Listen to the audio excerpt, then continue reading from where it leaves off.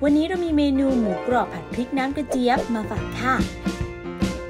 ใส่น้ำมันพืชลงในภาชนะนำขึ้นตั้งไฟพอร้อน ใส่กระเทียมสับหยาบและพริกขี้หนูสับละเอียด ผัดพอหอม ใส่หอมใหญ่ซอยบางผัดจนกระทั่งสุก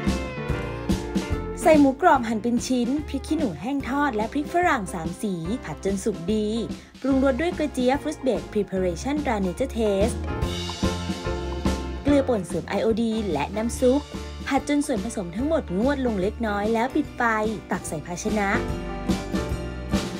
โรยใบกะเพราทอดกรอบ จัดรับประทานคู่กับข้าวสวย แค่มีผลไม้ fruit based ตรา Nature Taste ไม่ว่าจะรังสรรค์เมนูอะไร ก็อร่อยได้กลิ่นและรสชาติ คุณภาพเยี่ยมทุกเมนู ผลไม้ fruit based ตรา Nature Taste จึงมีให้เลือกหลากหลายกลิ่น สามารถสั่งซื้อออนไลน์ได้แล้ววันนี้